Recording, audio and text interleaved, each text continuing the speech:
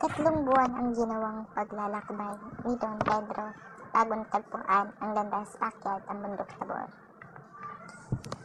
Hindi nakayanan ng kanyang kabayo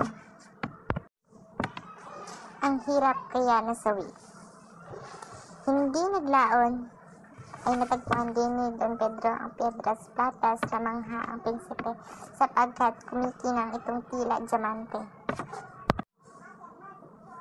Labis ang kanyang pagtataka dahil isa man sa laksalaksang ibon na nagdadatingan ay walang nagtangkang gumapo sa puno. Matagal na naghintay si Don Pedro hanggang sa nakatulog. Hindi na niya namalayan ang pagdating ng ibong Adarna. Humapon ang ibon.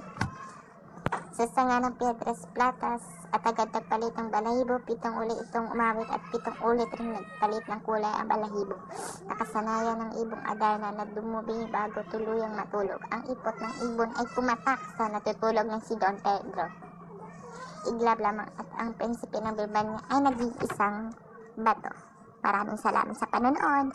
Hanggang sa muli!